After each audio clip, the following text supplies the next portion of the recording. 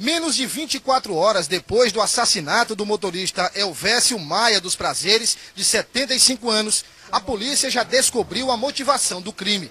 Segundo o delegado Ademar Canabrava, do 12º Distrito, a execução foi uma vingança. De acordo com a investigação realizada nas últimas horas, o autor do crime é pai de um jovem que teria morrido no dia 21 de abril deste ano em consequência de uma colisão entre dois veículos. Um deles era este caminhão, conduzido pelo motorista assassinado. Ontem, o pai resolveu vingar a morte do filho. Entre o veículo, o caminhão e a, e a caminhonete, tinha quatro carros antes. Então não se pode discutir no trânsito com a distância que estava aquele veículo. Daí levantamos o, o, a placa do carro, da placa do carro levantamos os endereços, supostamente a pessoa acusada, e na manhã de hoje localizamos a residência, estivemos lá no local, não estava, estava foragido. Quem é o acusado?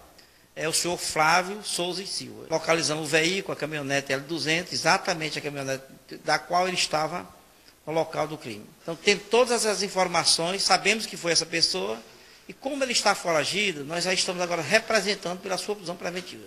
O caminhão de propriedade do motorista executado foi recolhido pela polícia. A caminhonete conduzida pelo acusado no momento do crime foi apreendida pelos policiais do 12º Distrito, na fazenda do acusado, no município de União. Está tudo esclarecido que, na verdade, foi execução, foi uma vingança.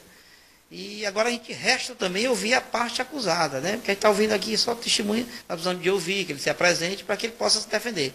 Mas na verdade já está tudo esclarecido e não tem mais dúvida. O crime aconteceu no final da tarde de ontem, no cruzamento das avenidas Dom Severino e Presidente Kennedy, zona leste de Teresina.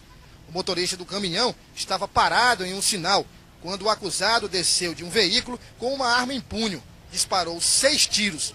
Um atingiu a vítima. Os filhos de Elvésio chegaram ao local após a ocorrência e disseram não saber a motivação do assassinato. Nunca reclamou, ele não é de reclamar, entendeu? Ele tem, você pode ver ali, ele tem o braço quebrado, quebrou quatro anos atrás, nunca parou de trabalhar.